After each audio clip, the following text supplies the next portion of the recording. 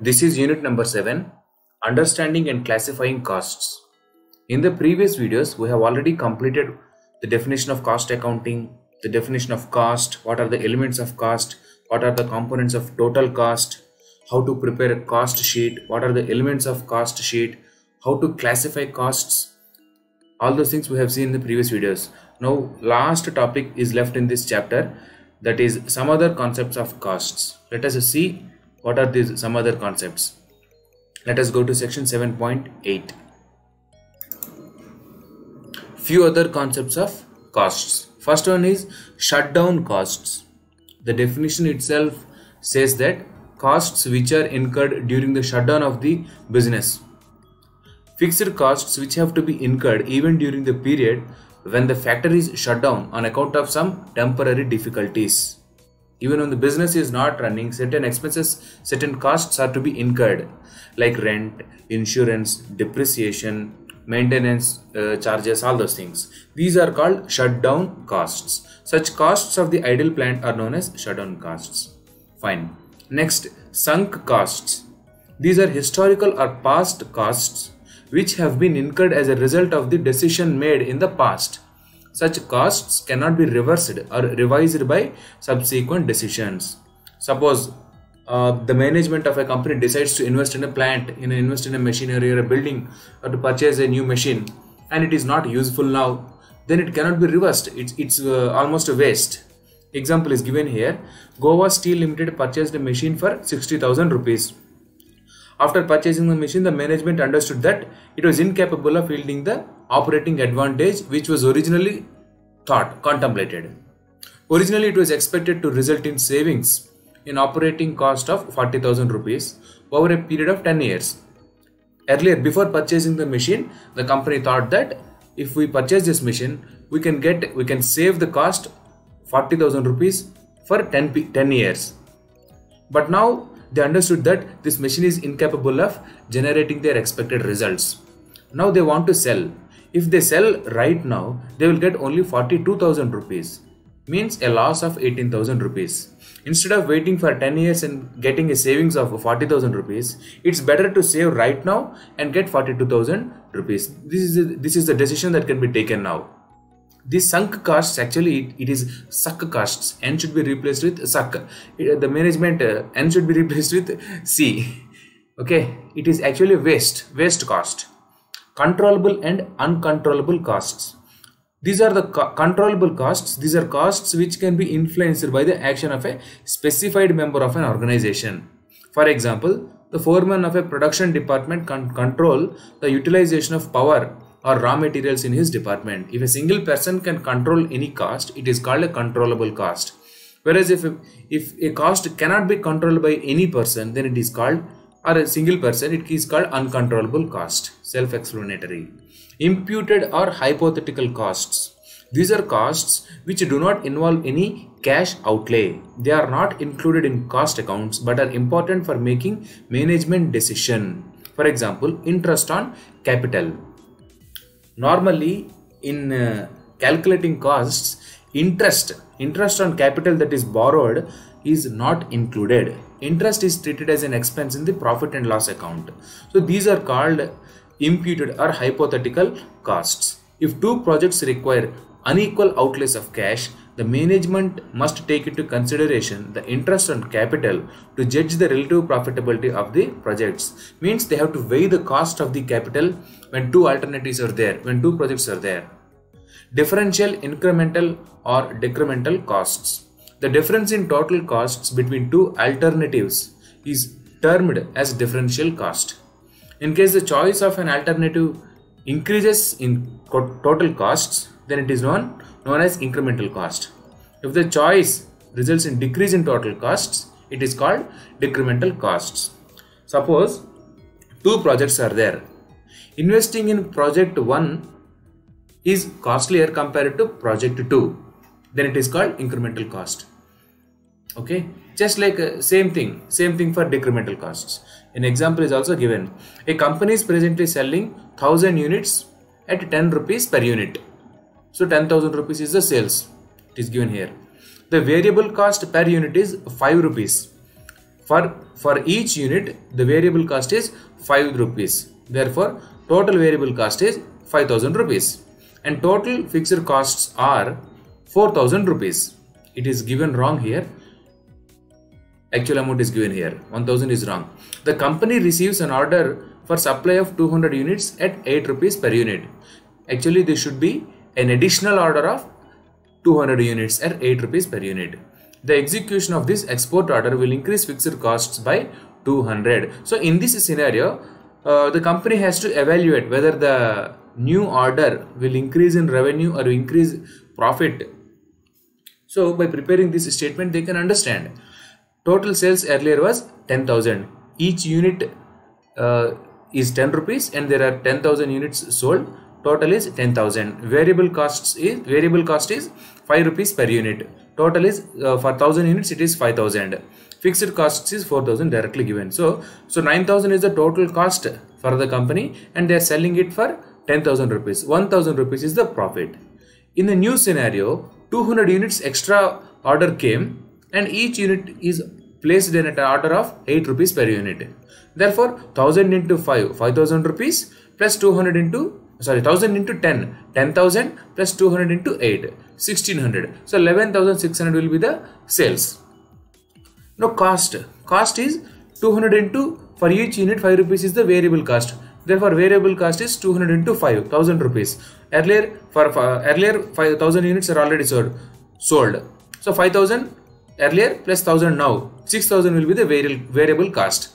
It is directly given here execution of this export order will increase fixed cost by 200 earlier fixed costs is 4000 now fixed costs is 4200 therefore 11600 minus 10200 1400 rupees is the profit.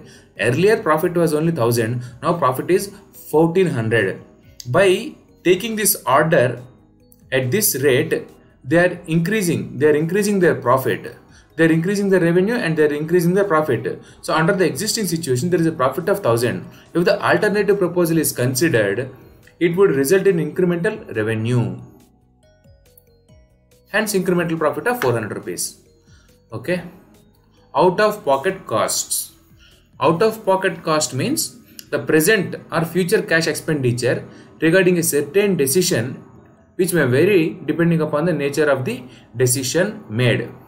It's uh, simple. Suppose a uh, management of a company decides uh, to provide cab services to all the employees who are commuting to the office from their homes. Then it is an additional expenditure and the company is bearing it from their own pockets from the own from their own revenues so that is out of pocket cost opportunity costs this is important opportunity cost refers to the advantage in measurable terms which has been foregone on account of not using the facilities in the manner originally planned. For example, a building is purchased. Actually, it was proposed to be utilized for placing a new plant or a new machinery. Suppose if that if the plant is not put there and operations are not run, if it was given for rent, what would have happened? How much rent it would have uh, it would have got by renting. So if you compare these two revenues or the profits or the estimated benefits from these two alternatives, so the, the opportunity which is lost by not choosing the other one is called the opportunity cost. Suppose you have a sizable deposit in a bank which is fetching you a return of 10% per annum. Suppose another a friend comes and asks you to invest in a business proposal which gives 18% of return. So you compare both 18% after tax 10% return on fixed deposit. Which one is better? If you go for 18% you have to forego 10 10 percentage in the bank. You have to withdraw that and you have to invest in 18 percentage like that so comparing one benefit with the another benefit the benefit which you are lost is called the opportunity cost Traceable cost. These are costs which can be easily identified or traced. Simple. Those are raw materials and labor. The costs incurred on raw material, labor, these are all traceable. Untraceable costs. There are some costs, there are some indirect costs like carriage and freight which cannot be uh, traced directly. Uh, they are very minute costs. Different divisions have different uh, freight and carriages costs So they are common costs for all the divisions. These are costs which cannot be identified with a particular department or a process. Such costs are also called as common costs as they are incurred collectively for the number of products or cost center like examples like overheads or, or direct indirect costs incurred for the factory as a whole they cannot be traced to a particular department or division joint costs whenever two or more products are produced out of one and the same raw material process the cost of material purchased and the processing costs are called joint costs. Same raw material used, same labor is used, but output is more or many products are generated like oil refinery industry where crude oil is taken as an input and uh, kerosene, petrol, diesel, everything will be generated. So the cost incurred in procuring crude oil is the cost for all the items. These are called joint costs. These joint costs are appropriated to various products at a later point of time on different basis. What is conversion cost? The cost of transforming direct materials into finished goods exclusive exclusively direct material cost actually it is written wrong here it should not be exclusive of exclusive of means removing that one but the meaning of conversion cost is those direct costs which are helping in uh, generating the finished products those costs are called conversion costs.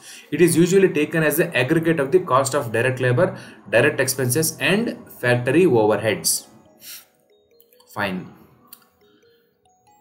The above classification. So, in the previous videos we have seen different classifications like variable cost, indirect uh, variable cost, fixed cost, step cost, direct cost, indirect cost. So, many other classifications are there. All these classifications or concepts of cost help the management in the decision making process. For example, segregation of cost into fixed and variable elements will help the management in analyzing the total cost. Similarly, segregation of cost into controllable and uncontrollable categories will help the management in fixing responsibilities of different executives for unfavorable cost variances. Okay, just to understand what different types of costs can be available in a company is given here. So there is an activity given here we have to identify whether it is a direct cost or indirect cost workman's compensation insurance in factory this is a cost incurred in the factory division of the company and compensation is related to the labor wages okay so direct labor cost right workman's compensation insurance in a factory. I think it is indirect. This compensation is not directly related to the output. So it could be indirect. Yes, it is indirect labor cost. Cement for, for a building contractor. Yes, for a building contractor, this is the direct material. Cement is the material. So direct material cost. Steel scrap as raw material for blast furnace. This is also direct material raw material for food served in factory cafeteria yes this is this is the direct input so direct uh, cost factory rent. This is uh, related to other expenses indirect. It is not related to the volume of the uh, output. Indirect other expense. Foreman's training program cost. This is also uh, incurred on the men. Men and men are uh, what we say? The personnel cost incurred on the personnel and it is indirect. Like this you can see other examples.